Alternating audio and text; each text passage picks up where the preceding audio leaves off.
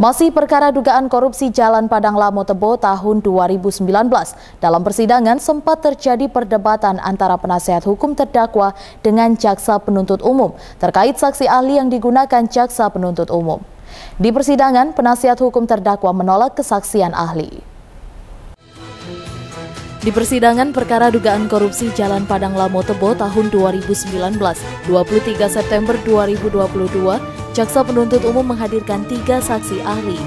Dua saksi dari Balai Jalan, Kementerian PUPR, di antaranya Irman dan satu saksi auditor BPKP Perwakilan Provinsi Jambi Sugeng Handoyo. Dalam sidang yang dipimpin Ketua Majelis Hakim Yandri Roni, sempat terjadi perdebatan antara penasehat hukum terdakwa dengan jaksa penuntut umum. Penasihat hukum tidak sependapat dengan kehadiran para ahli tersebut.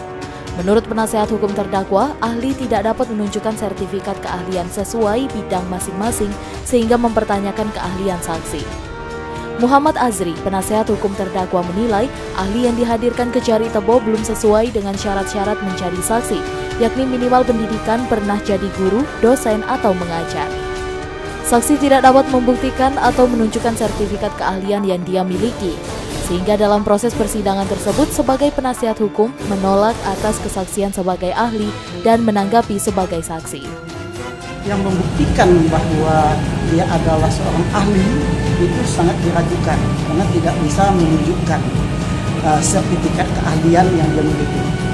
Sehingga dalam proses persidangan ini kami sebagai kuasa hukum itu menolak atas kesaksian beliau sebagai ahli. PKP juga kami juga tidak bisa mengakukan bahwa dia adalah seorang ahli ya. Karena syarat-syarat yang ahli saya katakan tadi itu dia minimal S2 ya kan pendidikan ini tetapi persoalan yang dia sampaikan tadi itu dia uh, kami anggap sebagai uh, saksi dalam uh, proses pengauditan atas dugaan kerugian negara yang akibatkan atas kerugian dalam